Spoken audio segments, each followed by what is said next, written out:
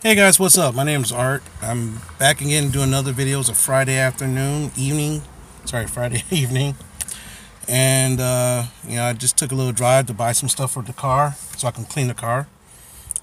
It's funny, I had the car for a little over a week and it's like, it's showing all the dirt and all this other stuff all over. So, naturally, buying some Armor All, it's nice. Got it for a good deal. Those three things for like 12 bucks. Not a bad deal. So, I can at least keep the new car somewhat nice looking for a look for a hot second. Guy walking his dog. so, what's been going on? So the question is, is that I've been thinking about something lately. I have been. Um, and what now I'm going to tell you. Now, tell you, every one of my videos has some sort of personal issue with it. But this time I'm going to really say something real. Not well, I talked about it before, but not to the deep as I'm going to say it right now. Okay, for example, just think about this. when I first look at you, sorry. When I when you first look at me, what do you see? Besides some smuck on YouTube, okay, talking some nonsense, even though some nonsense has some merit or some nonsense to it, whatever. Okay, if you say, you know, thing is, you can say, you know what, I see a, a black dude, you know, I see a bald, somewhat bald black dude in his car talking, and you're absolutely right. But then again, there's other things about me that you don't see. For example, I went to college. Graduated with a degree. I got a bachelor's degree. Took me eight years to do it, but I did it. I also have a decent job, and I've been working there for almost 18 years. And I'm trying to make it to 25. There's some issues that I'm going through right now that may or may not be a problem, but that's another video for another time. One other thing is that I talk. One thing I talked about, yes, DUIs. What am I addicted to? Am I an alcoholic? The answer is no. I'm not an alcoholic. And yes, I do go to AA. I haven't been to AA in about since the summer broke because my car issue. Because of car issue. One thing. Oh, you also see this shirt, Ash Nutrition. This used to be a supplements store in my area before they went out of business because their prices was way too freaking high. You know, 50 bucks for a protein powder that lasts like, you know, like 30 to 40 bucks for a protein powder that only lasts you like two weeks. and it didn't really do much. It's like, oh yeah, I got some protein, yeah. So I started buying, you know, nitrous oxide, which helps me with the workout for a, for a hot second, but after a while I got, I had to quit doing that. So obviously I do work out. Have I worked out? Haven't worked out for in about a month or so. No, I haven't. But to some extent, I still maintain somewhat shape, and that's good. So, so the first thing some people will look at me and say, "Oh, well, are you an alcoholic?" The answer is no. I'm not an alcoholic. I just survived a DUI, my second DUI, and avoiding the third. One other thing that when you look at me,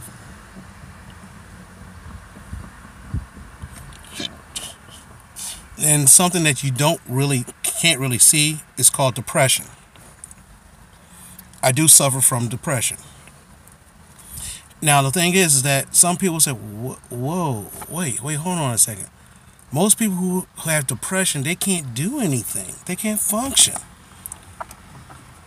And that's true. There are some people who can't function. You know, sometimes some people I know when they get depressed, some of my friends when they get depressed, guess what happens? They're in bed all day. Literally all day.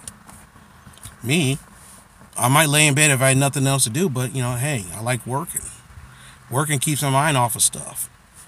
I work out sometimes. When I do work out, it helps keep my mind active, you know what I'm saying? And the thing is that since I haven't worked out in such a long time, I do notice my depression coming back slowly. But since I got a new car, and I'm almost over the summer cold kind of thing. So I will be back in the gym very shortly. If not tonight, if not tonight, but definitely tomorrow.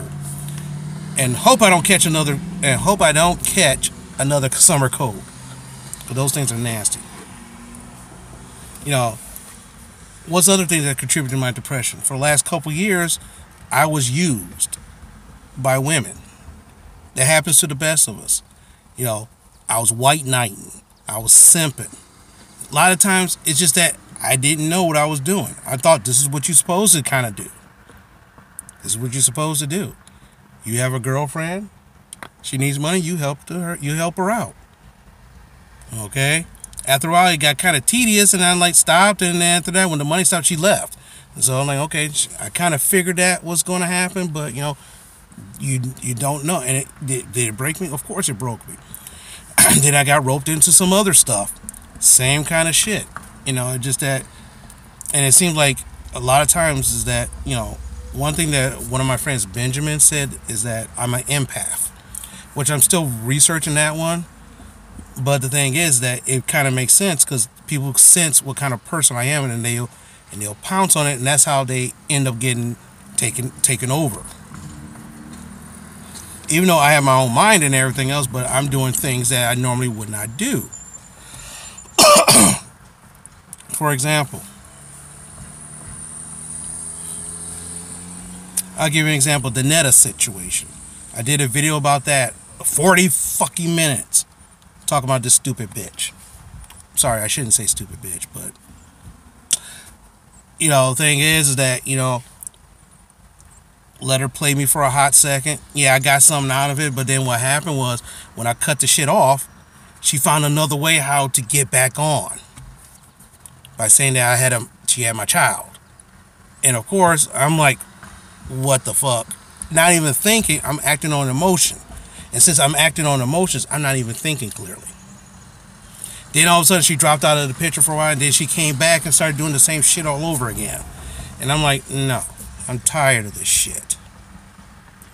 That also helps. That also hurts my. That also helps bring about my depression because guess what? I'm sitting right here. Is like, this bitch is stressing my ass out.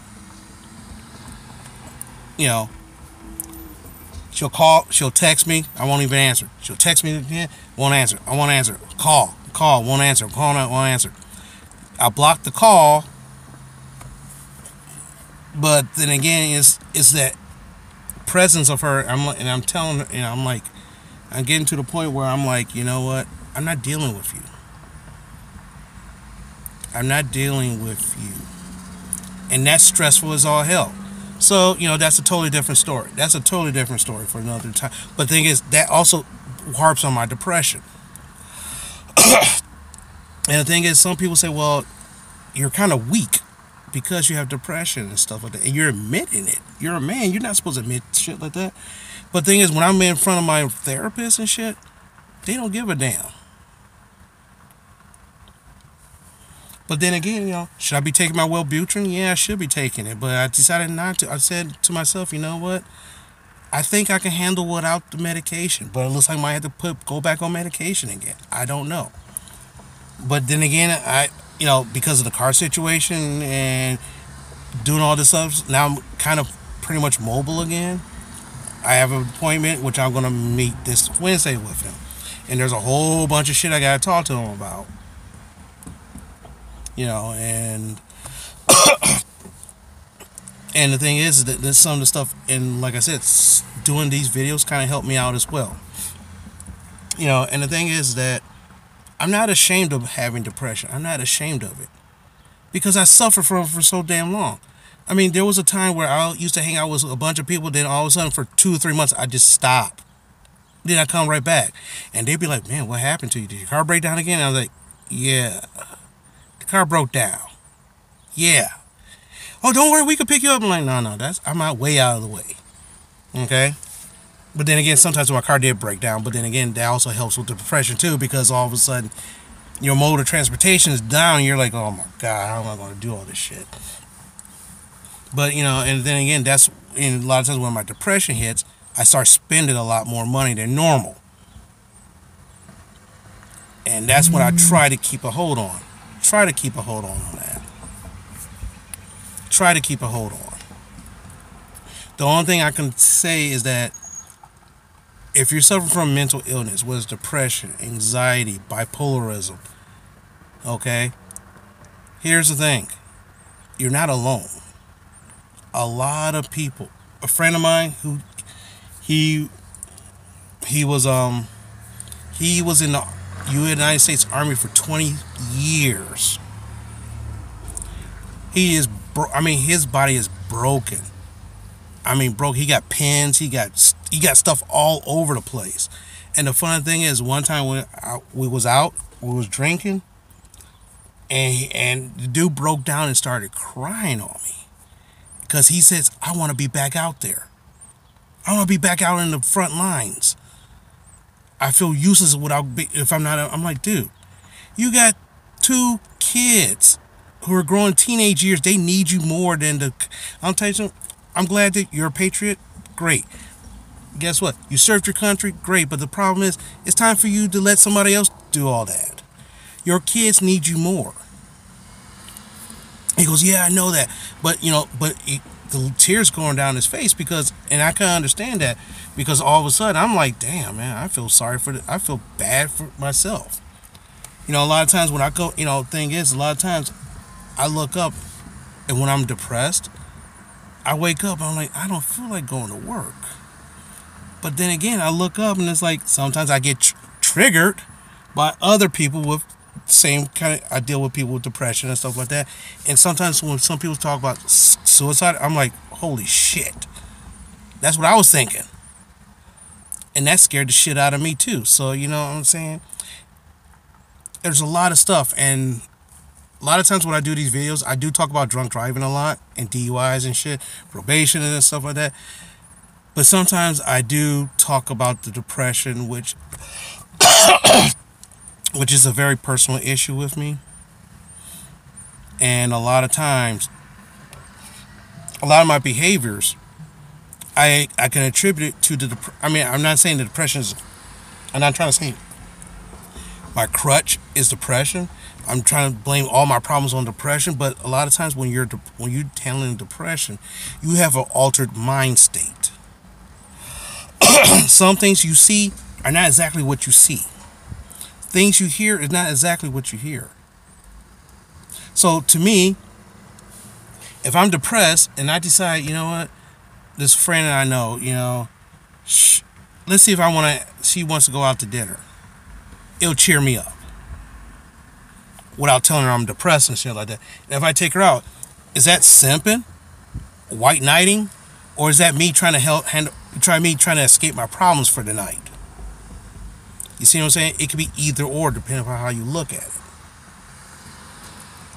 It could be white knighting because of the fact that guess what? I'm giving this bitch. I'm sorry. I'm giving this woman something to eat. Could I be simply because I'm trying? I'm am I, I'm paying for her dinner so that way, you know, so I can get something out of it. Not necessarily something, not necessarily sex, but you know, some kind of companionship or something like that. Or is it because of the fact that one, I need someone to hang out with so I won't feel so down? And if that person's available, so be it, you know?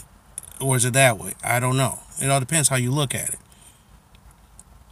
But the thing is, is that it's a very hard thing to, ex- it's a, it's very hard at first to admit that you have depression and stuff like that.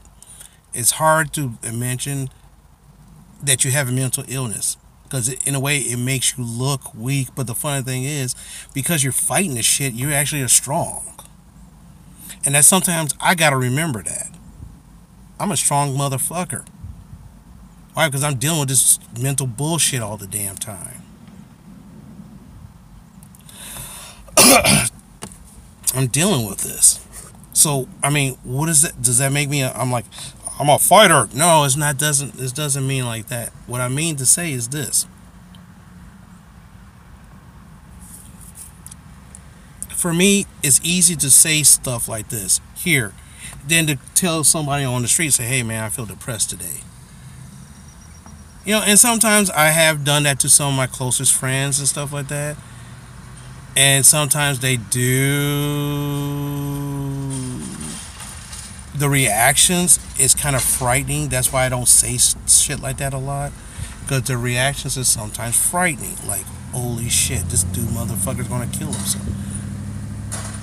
And I mean, it was. I remember one time I had I was way out there one time, and I, and I just phoned up this one, one of my boys, and he's like, "Dude, man, you've been a great friend to me, you know, and I always love you as a friend and shit like that." And then he was like calling me up, "Dude, get to here fast." I'm like, "What the fuck?" All these people that was with him was like, "Dude, you can't be you can't be doing shit like that, you know, you can't be doing that." But you know, that's how it is. So this is over and I'm about to go home and do some stuff. So talk to you guys later.